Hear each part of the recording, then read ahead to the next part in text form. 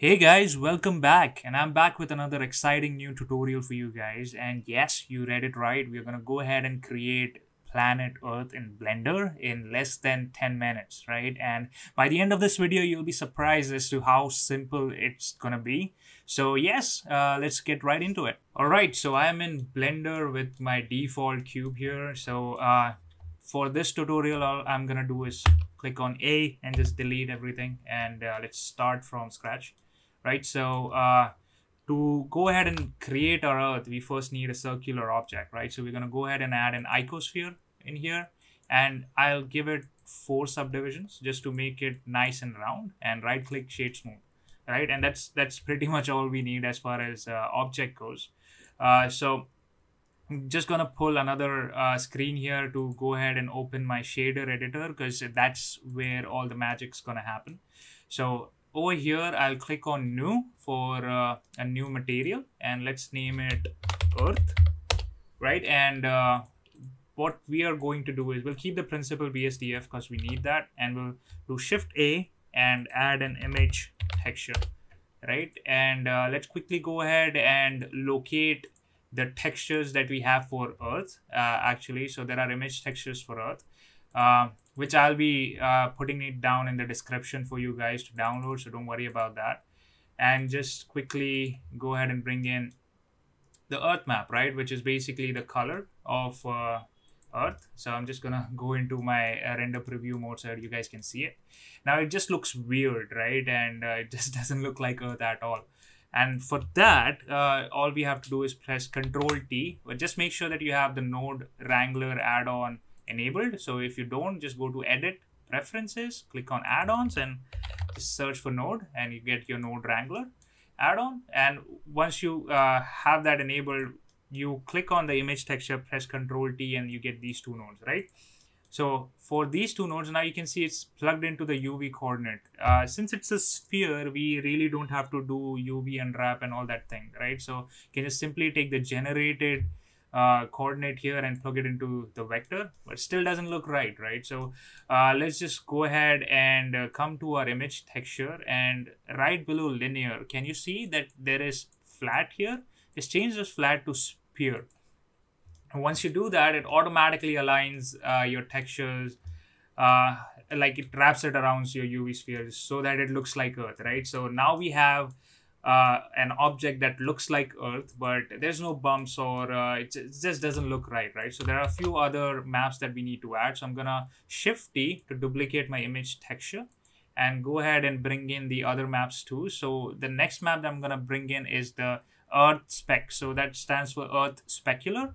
So I'm gonna click on that, open image, and I'm gonna take the color input from here and put it in the specular input of uh, uh, principled BSDF and just make sure that you're connecting this vector right into the vector over here, right? So, and anything that's not going into the color input should always be non-color data.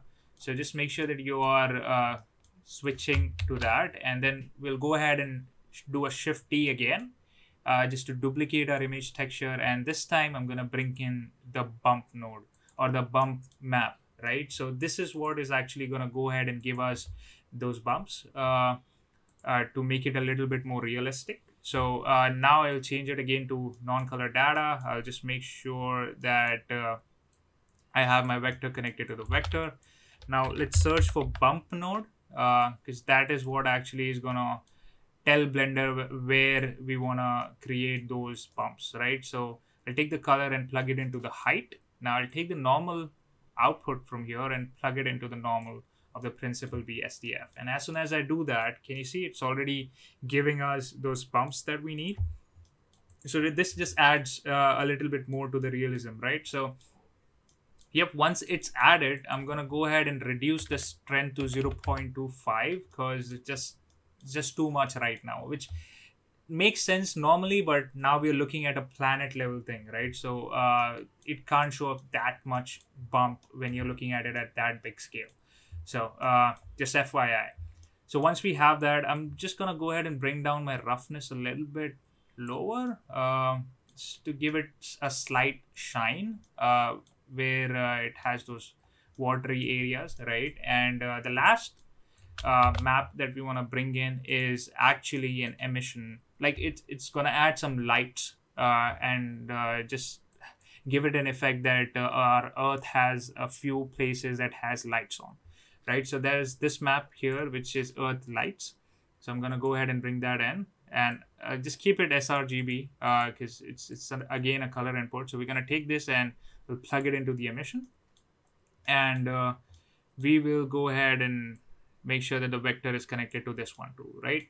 Now there is just way too much uh, of emission going on. So even if you look at it uh, in a dark environment, you still see uh, some bluish effect coming in, right? We don't want that. So to color the, uh, sorry, to uh, control the amount of emission that we are adding here, I'm going to go to converter at and add a color ramp and just bring this black closer to the white and this white closer to the black, right? Just to make sure that it's uh, going ahead and adding uh, limited amount of emission and not just blowing it off uh, uncontrollably. So once that is done, our Earth is basically ready. So we we have our Earth ready, uh, but it still doesn't look realistic, right? So we're gonna go ahead and add some clouds to it. Now, in order to do that, I'm gonna go ahead and press Shift D on my object to duplicate it and then scale it outwards a little bit, just a little bit, not a lot, right? And then we'll come here and we'll duplicate our texture and just name it clouds. Okay. And let's go ahead and delete all the textures that we have here because we're going to replace it with the other ones. So I'll again press shift A and then add another image texture. And I'll take the color input, plug it into the color input of this and let's go ahead and search for our cloud textures right that i've already downloaded and again all these textures going to be linked down in the description so you guys can just simply go ahead and download them uh, so let's go ahead and get our clouds similar thing just make sure it's a sphere and it's connected uh, to these coordinates here and you get that uh, uh get those clouds wrapped around your earth now let's go ahead and bring in another map here. Now this map is called Earth Cloud Trans, right? So Earth Cloud Map Trans. So it's basically means it's it's for transparency. So what it's gonna do is it's gonna go ahead and make the spaces where we are not supposed to have values like these blue color spaces here it's just going to go ahead and make that make them transparent right so we're going to take this color input and plug it into the alpha channel in our principled BSDF so alpha is basically for transparency, right? So we are going to go ahead and uh, plug the vector into the vector as well. Uh, and just make sure it's a non-color data here. And once we are done with that, it, it's still not showing anything. And that there's a reason behind that, right? Uh, so we have to go into our material properties and just make sure that we change our blend mode to alpha blend and shadow mode to alpha hashed. We check on screen space reflections, sub translucency, and also make sure that we have ambient occlusion, bloom, and screen space reflections enabled, and also the refraction uh, option enabled uh, in here, right? Now it's giving us a little bit of that effect, but uh, it's still pretty blue, uh, and that's because uh, it's inverted. And to fix that, we're gonna go ahead and add another color ramp here. And I'll just click on this drop down here and flip color ramp. And as soon as I do that, can you see? Now we have clouds. Now you can control the amount of clouds that you want in your space by just dragging this white closer to the black or black closer to the white. So if you uh, drag black closer to the white, it's going to reduce the clouds and uh, increase them uh, depending on uh, if you transfer the white closer to the black, right? So just FYI, and you can also add another gray one. Just click on that plus sign, and there's a gray one that that's added, and just push it closer to the white just to make sure that your uh, clouds are slightly grayish. Yeah, uh, that's about it. You you got your Earth, you got your uh, uh clouds now and since you guys stick around uh, so long, uh, well, we still have time to spare, right? So I'm gonna give you a bonus tip here and uh, show you how we can actually make space um, really quickly, right? But just before that, we don't have any light in our uh, render, so let's go ahead and add a sun lamp here. And uh, I'm gonna increase this sun lamp to three just so that I have some light. And uh, yeah, you can just play with. Uh, so this is basically gonna go ahead and give the effect of how diffuse your sun's gonna be or how uh, how hard it's gonna be, how hard the light's gonna be, and then you can go ahead and play with the z-axis and also uh, the x-axis uh, basically to go ahead and give that effect. Uh, so you can either go this way or you can just go ahead and try something else altogether, right? So it totally depends on you. you. You can just play with this rotation and just see what view you want of your Earth. But that's not what we want to talk about, right? We want to know how to create space, and it's really, really simple. And I'm pretty sure you guys are gonna uh, have that aha moment uh, once uh, I show you. So we're gonna change our object in a shader editor to world and uh, right over here we have these two nodes. One is background and one is world output right? So i'm going to go ahead and delete the background and i'll do shift a and add an emission shader here. And take this emission shader and plug it into the surface. Now it's pretty bright now and i understand and that's so uh, don't be alarmed. Uh, so we're going to go ahead and add another color ramp in here and plug the color into the color.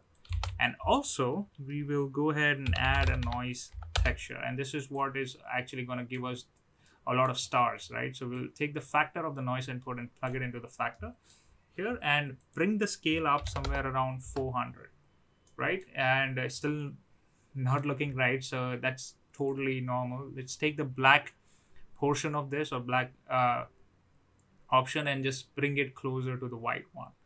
So the closer you bring uh, the lesser the stars would be and the farther you take away the uh, more the stars gonna be in your scene right? So i'm gonna increase the emission to about 50 so that we have some noticeable stars.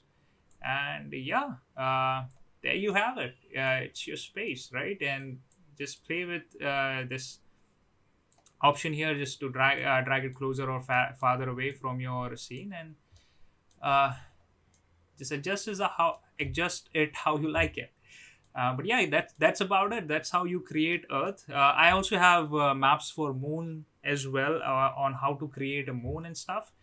I am going to go ahead and uh, add that those textures in the link down below as well, so that you guys can just simply download them. It's the same process. I'm not going to show it to you over here, but it's, it's the same process, right? You can just follow the same steps and get the same results. But I really hope that you guys liked this video and it was helpful. And if it was, don't forget to drop a like and uh, subscribe to the channel because there are a lot of other uh, videos similar to this on the channel and a lot more to come as well, right? And if you want to know more about modifiers, you can just simply click on the bottom left of your screen right now. And uh, if you're interested in abstract art, well, just click on the top left of your screen. And I'll see you guys in the next video. Thank you so much for hanging out.